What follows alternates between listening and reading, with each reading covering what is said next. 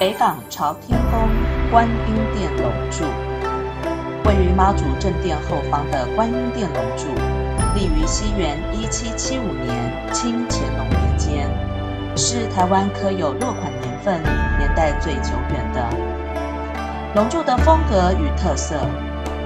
圆形的柱体，单龙盘柱，收头涂胸，追逐龙珠。龙柱上所雕云罗海浪较小，简单柔和，规模小。龙首脸贴于柱体，没有雕空。龙首上望或水平对望。根据考证，此对龙柱是在唐山先雕刻好后，再用船海运过来。为了避免在航运过程中损伤，龙柱采用无透雕的方式雕刻，并使用了坚硬不易损坏的泉州花岗石雕制而成。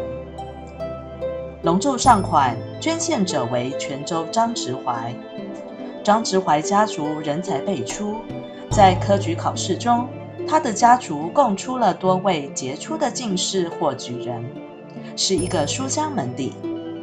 为了感谢北港妈祖神恩护佑，张直怀捐献了这对龙柱。